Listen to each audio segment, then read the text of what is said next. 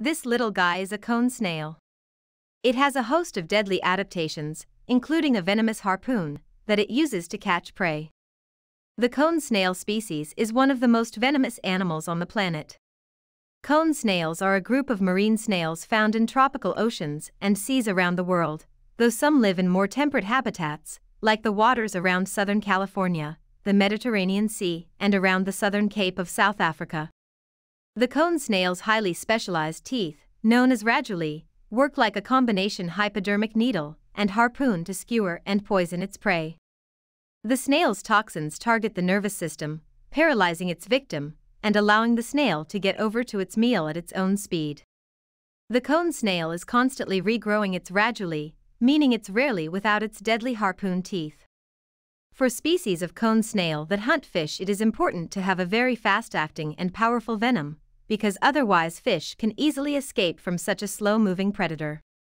Some cone snails take refuge on rocks and coral reefs, while others hunt by burying themselves in sand, waiting for unsuspecting prey. Their ornate, geometric shells are also an attractive souvenir, which poses a risk for unsuspecting divers and beachcombers, and the larger species of cone snail have radulae large enough to pierce a wetsuit. Historically, 65% of people stung by the geography cone snail die if they don't get to a hospital in time. We don't currently have any medicines that can neutralize the snail's conotoxin venom. The only treatment is to treat the symptoms and try to keep the victim alive until the venom wears off. Even though this snail is slow and has only killed a few dozen people, there are a few reasons why it's considered the most venomous animal in the world. The dose of venom in a strike is key. Some, like the king cobra, deliver a large amount of venom with its large, channeled fangs. Others, like the tiny deathstalker scorpion, only need to administer a little venom to kill. It only takes one tenth as much cone snail venom to do the same damage.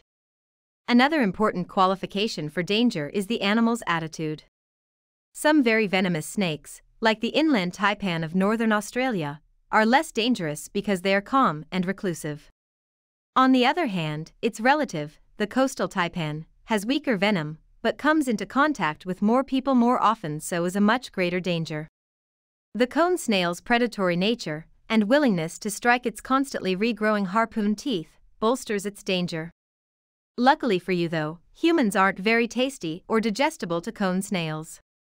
The only reason humans come in contact with them is if someone steps on a cone snail, startles them when diving, or picks up a shell with a creature still in it.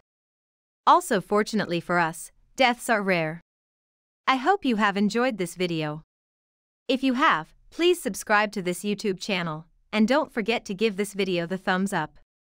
And I'm sure you're going to enjoy this next video on are beavers dangerous to humans, pets and property.